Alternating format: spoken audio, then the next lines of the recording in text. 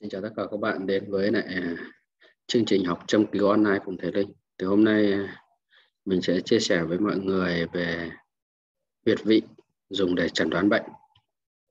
Thì à, thông thường chúng ta sẽ dựa vào một cái số huyệt nhất định, ví dụ như là huyệt nguyên, huyệt mộ. Và trong cơ thể của chúng ta có những cái phản ứng huyệt nhất định để chúng ta dựa vào đó để chẩn đoán được cái chức năng sinh lý của các tạng phủ có vấn đề gì không rồi ờ, chúng ta sẽ đi vào bài.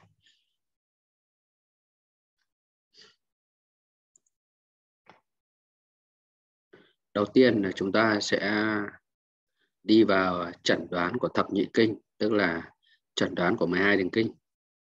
Được gọi là thập nhị kinh, thập nhị là 12 12 kinh mạch chính.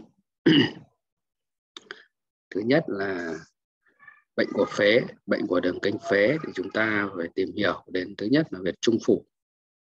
Trung phủ này thì cũng là một cái việc mộ, phế. Thứ hai là việc khởi đầu của kinh phế. Khi chúng ta dây ấn trên việc này mà có cảm giác đứt chói, cảm giác như đau chói hoặc nhức chói thì thường là các bệnh lý sẽ có. Thứ hai là phế du. Thì cái việc phế du này cũng là một cái việc mà chúng ta châm bổ phế du để nâng cao chức năng của phế khí hư rất là tốt. Thứ hai đây cũng là một trong những cái huyệt mà kích thích à, chúng ta hay trích lẻ để điều trị chắp nẹo. Cái thứ hai là ví dụ như cái hàng tháng hoặc hàng tuần chúng ta trích lẻ à, về phế du này thì nó có tác dụng tuyên phát tuyên phát và túc gián chức năng của phế khí rất là tốt. Còn huyệt trung phủ ngoài cái chức năng của phế chúng ta cũng có thể áp dụng để trong điều trị các cái bệnh lý liên quan đến khớp vai tiếp theo là việt phách hộ. Việt phách hộ cũng là một trong những cái việt mà nói về chức năng của phế thì nó ở cách phế du ra không? 1,5 à, nó cách ra 1,5 thốn. Đặc biệt một việc cuối cùng là việc cao hoang. Việc này trên lâm sàng được ứng dụng rất nhiều. Thì chuyên điều trị về các những bệnh mà mãn tính khó chữa chúng ta cũng hay châm hoặc trích huyết ở cao hoang và đây là cũng là một trong những cái huyệt có giá trị trong điều trị và cũng như chẩn đoán về bệnh liên quan đến phế thì các bạn chú ý cho thầy là bốn huyệt là trung phủ, phế du, bách hộ và cao hoang. Tiếp theo là bệnh tiểu trường. Bệnh tiểu trường thì chúng ta tìm hiểu huyệt quan nguyên, tiểu trường và thiên tông. Đặc biệt là cái huyệt quan nguyên, huyệt quan nguyên là huyệt mộ của kinh tiểu trường.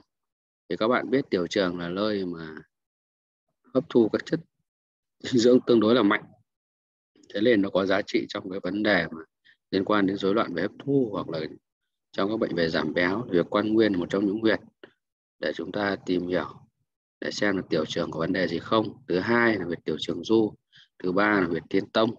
Cái huyệt thiên tông này ngoài mà điều trị về kinh tiểu trường thì chúng ta còn chú ý về thiên tông này có giá trị rất lớn trong điều trị về ờ, các bệnh lý chi trên. Huyệt thiên tông là huyệt huyệt sâu trên khớp vai và nó có tác dụng là toàn bộ khí huyết ở khớp vai sẽ đẩy qua huyệt thiên tông để đẩy xuống cánh tay có giá trị rất là lớn.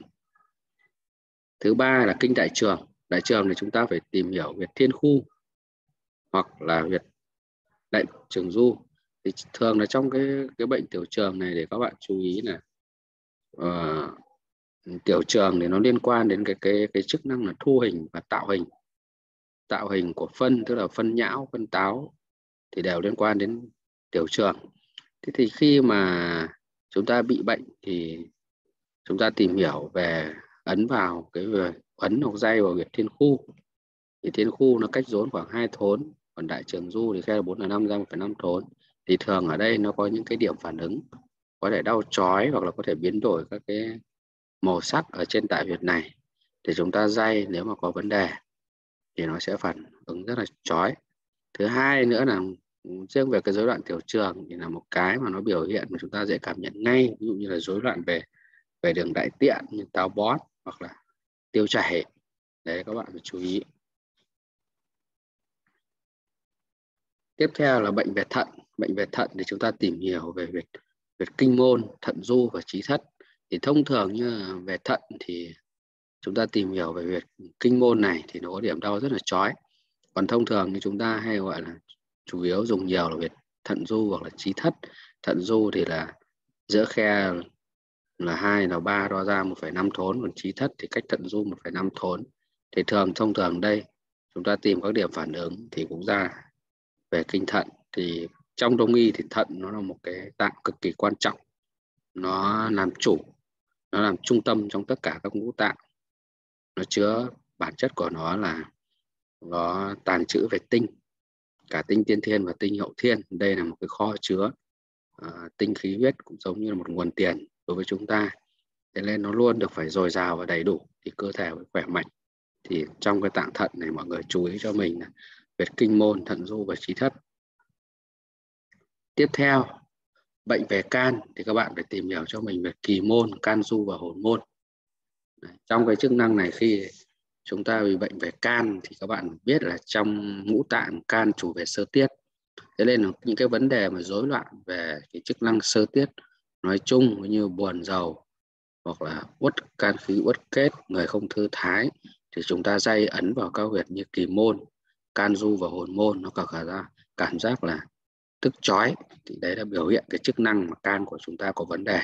Thứ hai nữa là chúng ta nhìn mặt thì nó tự dưng nó sạm đi hoặc là nổi mụn nhiều thì đường thường là do can nóng nên các bạn phải chú ý. Tiếp theo là bệnh ở đờm bệnh ở đờm này thì các bạn phải biết chức năng của đờm thì đờm là là linh tĩnh, tức là ưa nhẹ nhàng, ưa nhẹ nhàng và trong suốt. Thế nên là khi chúng ta bị rối loạn về chức năng của đờm thì nó gây ra, đầu tiên chúng ta sẽ cảm thấy là cái dấu hiệu mà chúng ta cảm thấy đắng miệng là điển hình nhất thì trong cái để tìm được các vị trí về kinh đảm này, bị bệnh thì các bạn chú ý cho thầy đến huyệt nhật nguyệt, huyệt đảm du, huyệt chấp cân hoặc dương cương, hoàn khiêu hoặc phong trì các bạn phải chú ý. Tiếp theo, bệnh về tâm. Bệnh về tâm thì các bạn à, tìm hiểu cho thầy đến cái huyệt cự khuyết, tâm du, thần đường hoặc cực tuyển nhưng thông thường thì để ý nhất cho thầy đến huyệt cự khuyết. Thì các bạn biết là chức năng của tâm thì cực kỳ quan trọng. Đấy, thì chúng ta những cái triệu chứng như chúng ta cảm thấy tâm quý hồi hộp chống ngực tức ngực vân vân là các bạn chú ý này. Tiếp theo bệnh về tỳ. Là các bạn tìm hiểu cho thầy về việc trương môn tỳ du hoặc là ý xá. Thì cái tỳ này nó có chức năng rất là quan trọng đúng không? tỳ nó có tác dụng là thăng thanh các chất tinh vi đi lên phế để đưa đi toàn thân. Những rối loạn chức năng của tỳ này thì các các tạng phủ không được nuôi dưỡng, dẫn đến là cơ thể mệt mỏi ẻ oải. Thì cái việc trương môn thì các bạn biết là nó là cái việc mà chúng ta tìm nhiều nhất để xem cái chức năng tỳ thế nào. Tiếp theo đến bàng quang, mà chúng ta tìm việc trung cực, bàng quang du, toàn trúc hoặc là thiên trụ. Cái, trên kinh bàng quang này thì các bạn biết là chúng ta ứng dụng rất nhiều về kinh này có 67 huyệt. Và các bạn phải chú ý nhiều đến các cái huyệt ở trên kinh bằng quang để chúng ta áp dụng trị liệu. Tìm rất là phong phú, khởi điểm chúng ta hay bị đau lưng, đúng không? đau ờ, dọc hai bên cột sống. Chúng ta tiếp theo, bệnh của tam tiêu thì chúng ta tìm hiểu về thân mạch. Thân mạch, âm giao và tam tiêu du. Thì à, ba cái huyệt này là điển hình để giúp chúng ta xem là khám phá bệnh ở tam tiêu ra sao có, có ảnh hưởng gì không? Chúng ta tiếp theo bệnh ở tâm bào. Tâm bào lạc thì chúng ta tìm hiểu đến huyệt thiên trì huyệt đàn trung hoặc tâm du. Thì à, ba cái huyệt này nó có giá trị rất lớn đến với tâm bào. Chúng ta biết tâm bào bị bệnh hay không?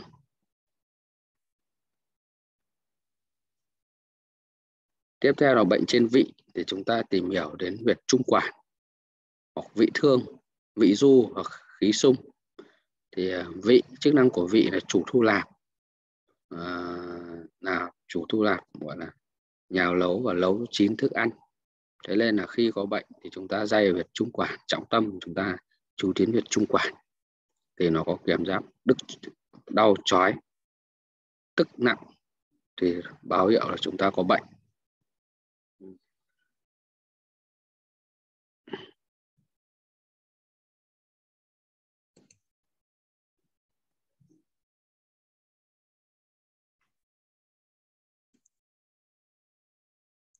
Chúng ta tiếp phần 2 là chuẩn đoán theo lục kinh. Chuẩn đoán chuẩn đoán theo lục kinh thì chúng ta dựa vào các cái như sau. Thứ nhất, đối với kinh thái dương. Kinh thái dương thì chúng ta có hai kinh, đó là kinh thái dương bằng quang và thái dương tiểu trường. Thì các bạn tìm cái huyệt đại hách này cho mình để xem là tìm vị trí đau. Nếu mà nó đau chối thì hai kinh này có vấn đề. Tiếp theo là chúng ta đến với kinh thiếu dương thì các bạn tìm cho thầy cho thầy huyệt huyệt đại đại cự. Nếu dây ấn vào huyệt này có vấn đề thì chúng ta cũng sẽ có vấn đề.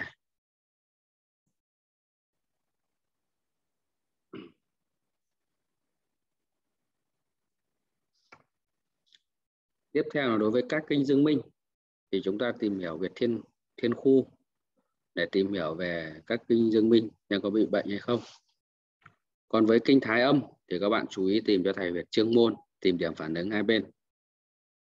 Đối với huyệt thiếu âm thì chúng ta tìm huyệt kỳ môn và u môn. Còn đối với kinh quyết âm thì các bạn chú ý tìm cho thầy huyệt là huyệt hoang du và âm đô. Phần 3 là chúng ta đi về từng các huyệt của của các tạng. Ví dụ bệnh ở tỳ thì các bạn bấm huyệt trương môn để tìm bệnh ở tỳ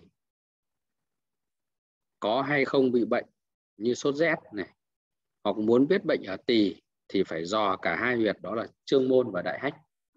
Đấy chuyên môn và đại hách. Thì các bạn cần phải xác định được huyệt trương môn và đại hách thì tất cả các cái phần huyệt này thì nó đều được thầy hướng dẫn ở trong 12 video về xác định huyệt vị trên tình thần kinh rồi. Thứ bốn là chẩn đoán tại ngực và bụng tại ngực và bụng.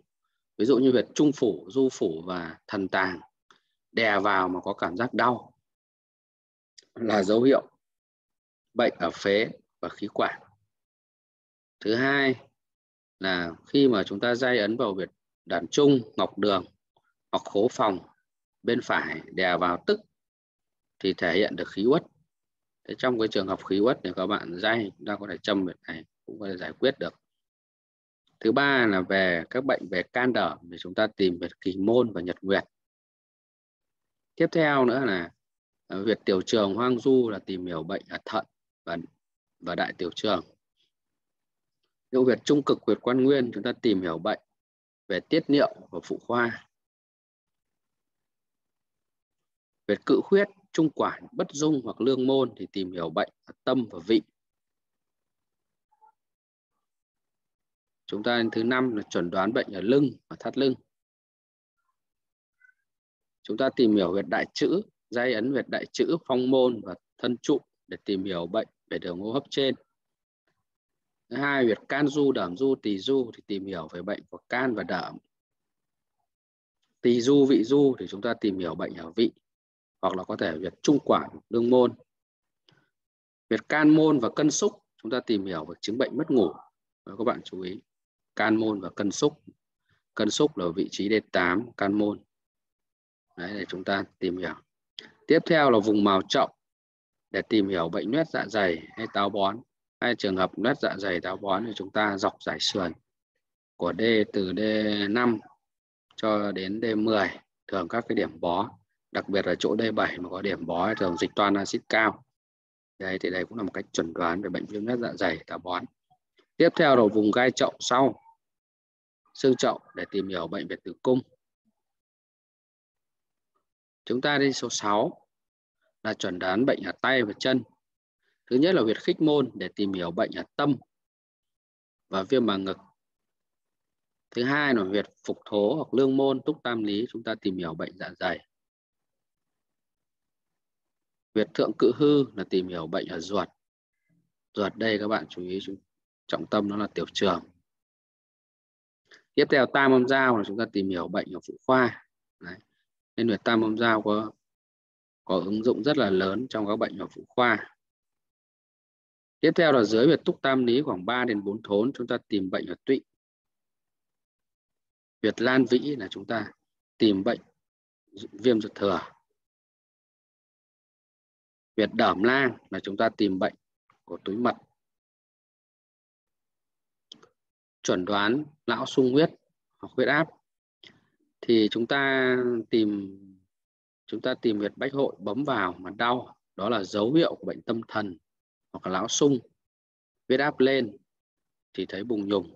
Bùng nhùng ở đây, nếu mà chúng ta ấn bùng nhùng thì thường sẽ, cái nhiệt ở vùng này sẽ là tăng cao, chúng ta sờ vào nóng hơn cái da bình ở chỗ khác. Tiếp theo là đau lưng đau lưng trên mạch đốc đau lưng trên mạch đốc thì bấm đau chính. Là máu sẽ hết. Tiếp theo là huyệt thiên trự, bấm vào mà đau nhức thì sẽ là cao huyết áp, đau đầu hoặc xuất huyết não hoặc gai gai gót. Huyệt đại trùy ấn vào đau là có đau đầu kinh niên hoặc huyết áp cao. Huyệt phách bộ, bấm vào đau tới đỉnh đầu, chứng tỏ có xuất huyết não huyệt kinh môn và trương môn bấm vào mà thấy đau. Thì khi người đó là có bệnh cao huyết áp. Tiếp theo là phù bạch ấn vào khó chịu là bệnh cao huyết áp. Tiếp theo, bệnh mất ngủ thì các bạn cần chú ý việc can du thường đè vào đau hoặc sưng hoặc da dày lên thì là thường nó có chứng bệnh mất ngủ ở việc can du ngoài ra, trong số những người mất ngủ cũng có thể là người dọc theo từ đê đốt sống ngực thứ ba đến thứ bảy có điểm đau. Đặc biệt các bạn kiểm tra huyệt nội quan, sờ mà có thấy sơ, dày lên thì đau chói thì cũng là báo hiệu dấu hiệu mất ngủ hoặc đã mất ngủ lâu rồi. Về dịch toan nhiều, về bệnh về, tức là dịch axit nhiều và trong dạ dày, chú ý đến giáp tích D7 ấn vào có điểm đau nhói, thì là thường liên quan đến là cái dịch toan này nhiều. Thứ hai là xen kẽ của D7 D6 đến D7 có không thì cũng là dạ dày. Về tiểu trường du, thì theo bác ừ, sĩ Lakatali Ishio người Nhật, phụ nữ có kinh và mang thai, thì trên 2 tháng thì dây ấn huyệt này thì có điểm đau nhói. Tiếp theo là đàn ông mà sưng đau tuyến tiền liệt nếu khi chúng ta kiểm tra huyệt tiểu trường du mà có hiện tượng đau chói, thì trong những khả năng trên mọi người trong đầu phải phải có cái suy luận và hỏi bệnh nhân về các bệnh sử, tiền sử ra sao. Tiếp theo một số trường hợp khác, ví dụ như là đau dây thần kinh tọa chúng ta ấn đại trường du. Gần đau chói hoặc đau lan thì cái ấn huyệt đại trường du này nó cũng một trong những cái mà chúng ta kiểm tra về các nghiệm pháp về đau lưng, đúng không? Tiếp theo là viêm phúc mạc thì ấn huyệt đại trường và dương quan, đau. Bệnh về khí quản, thực quản thì ấn đàn trung. Đàm khó long, khó khạc thì ấn thiên đột. Huyệt thiên đột này có rất nhiều các cái giá trị. Nó làm thông mạch âm duy rất là tốt làm cho cái trứng mà chúng ta tức ngực khó lên nó châm thiên đột thì nó thông. Tiếp theo là huyệt thượng. Huyệt thượng thiên trụ từ huyệt thiên huyệt thượng thiên trụ từ thiên trụ đo lên khoảng à, 5 đến 7 phân bấm vào đau thì có dấu hiệu mắt kém. Thấy không rõ theo thần kinh thị giác.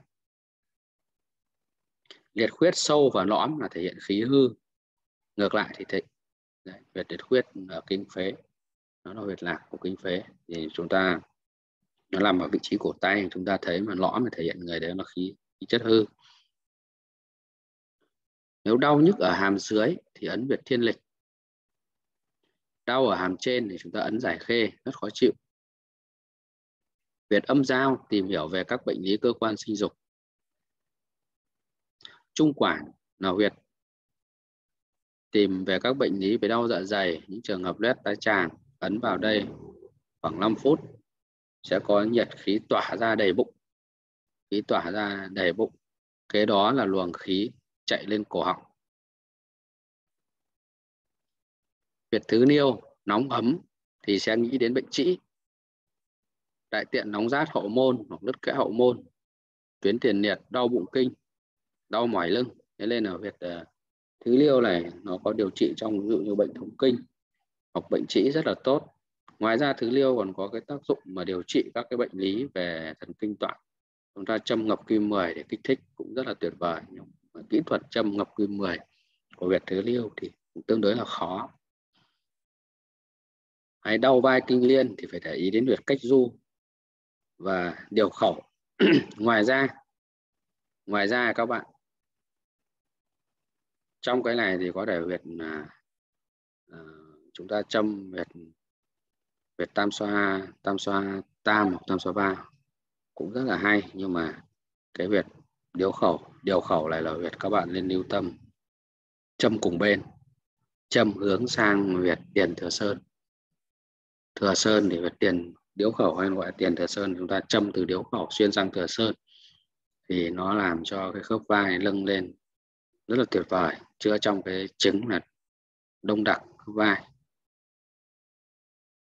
đấy là toàn bộ các cái kiến thức mà mình chia sẻ cho mọi người.